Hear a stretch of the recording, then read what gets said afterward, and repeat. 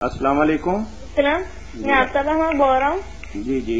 सब तो मेरा एक सवाल था कि मैं किसी महरूम महरूम की तस्वीर अपने घर में लगा सकते हैं और वहाँ नमाज़ भी पढ़ी जाए। अपने मरे हुए किसी अज़ीज़ की तस्वीर घर के अंदर लटकाना और फिर वहीं नमाज़ की अदायगी करना शरीयत के मुताबिक उसका क्या हुक्म है यही पूछ रहे हैं ना आप?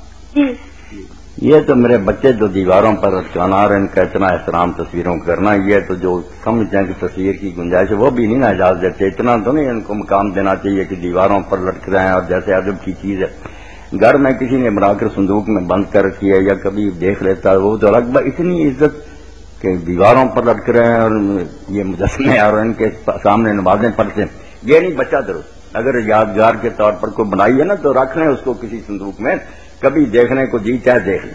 ज़्यादा तो उसको भी कहते हैं हराम है मगर सही बात यह है कि जिन तस्वीरों में बेहयाई नहीं और जिनसे शिरक का काम नहीं लिया जाता कि बुज़ुर्गों की बनाई हुई है दुकानों मकानों में रखी है कि बरकत होती है ये दो मकसद खत्म कर दें बाकी तस्वीर जो है बताते खुद ये हराम नहीं। है रसूल्ला ने खुद कहा कि अल्लाह रकमन की सब कपड़े में अगर कड़ी हुई है ना बनी हुई है जानदार की जायज़ है सही बुखारी में।